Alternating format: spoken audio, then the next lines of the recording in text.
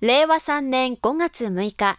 東京2020オリンピック聖火リレーが阿蘇市で行われ、市民らが沿道でランナーを出迎えました。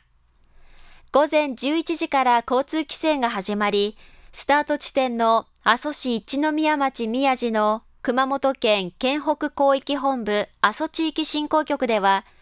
第一走者、2000年シドニーオリンピックのテコンドー日本代表で、阿蘇市出身、樋口清輝さんの統治に聖火が点火され、正午に聖火リレーがスタートしました。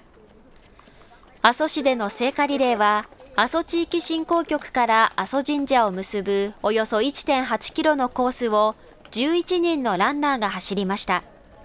そのうち3区を阿蘇グリーンストックの専務理事、桐原明さん、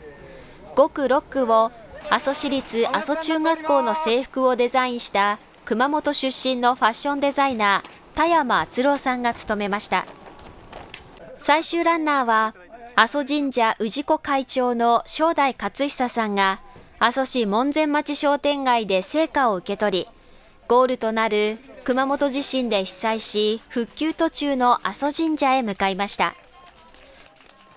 阿蘇神社では、大阿蘇御神火太鼓保存会による太鼓の音が響き渡り、熊本県のキャラクターくまモンや阿蘇市のキャラクター赤牛くん、阿蘇市長らが迎える中、正代さんが元気にゴールしました。阿蘇神社たくさん来ていらっしゃいましたがその方々が阿蘇神社の復興の状況を見られてですねあこれはもう楼門はまだ道半ばかというようなことも感じられたかと思いますが今後のご支援につながるのではなかろうかというふうに考えております。